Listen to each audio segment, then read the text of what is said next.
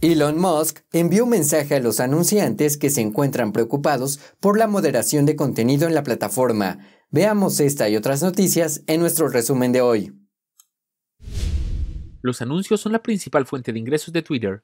A los anunciantes les preocupa que Musk, en su promoción de la libertad de expresión, deje de moderar los contenidos por completo, pero Musk dijo que quiere que Twitter sea un lugar de debate sano y sin violencia, donde todo el mundo sea bienvenido.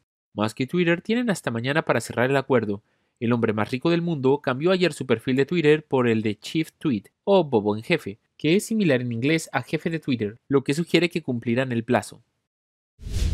El jefe de la policía Michael Moore dijo el martes que los detectives de Los Ángeles están investigándose una grabación del año pasado que captó a los concejales de la ciudad hablando de forma despectiva de otros se hizo de forma ilegal. Se inició una investigación penal sobre la acusación de una grabación encubierta relacionada con la reunión de la Fed de Los Ángeles en la que participó la entonces concejala Nuri Martínez, el concejal Gil Cedillo, el concejal Kevin de León y el presidente de la Fed, el señor Herrera.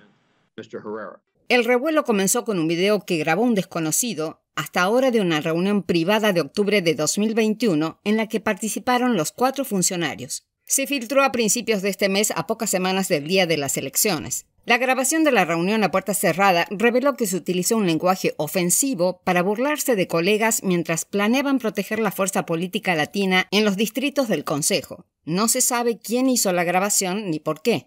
Según la ley de California, todas las partes deben dar su consentimiento para la grabación de una conversación o llamada telefónica privada. De lo contrario, la persona que realiza la grabación podría enfrentarse a sanciones penales y civiles. Martínez de León, Cedillo y Herrera se dirigieron el viernes al Departamento de Policía de Los Ángeles y pidieron que la agencia abriera una investigación. Martínez renunció, mientras que Cedillo y de León se resisten a los llamados generalizados para que renuncien todavía no se identificó a ningún sospechoso.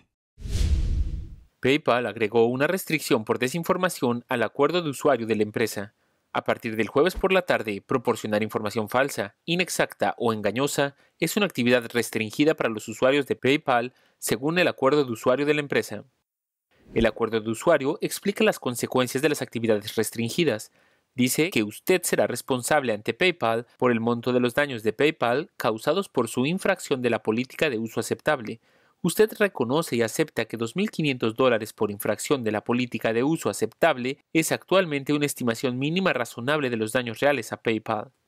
Esto ha llevado a muchos a especular que la controvertida multa por desinformación está de regreso, aunque la política no aclara por qué la cláusula de desinformación solo se agregó a las actividades restringidas, pero no a la política de uso aceptable, que es a la que se le aplicaría la multa de 2.500 dólares.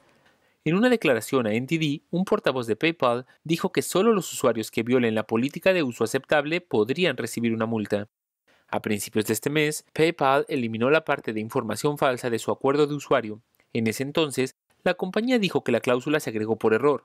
En respuesta, varios senadores republicanos enviaron una carta al director ejecutivo de la empresa diciendo, PayPal ha difundido constantemente la dudosa afirmación de que esta disposición nunca tuvo la intención de agregarse a su política, como afirmó un portavoz de la empresa. Si es precisa, esta declaración indica una asombrosa falta de supervisión interna en PayPal. Los senadores dieron a PayPal hasta el viernes para explicar los procesos y valoraciones que permitieron que la política avanzara.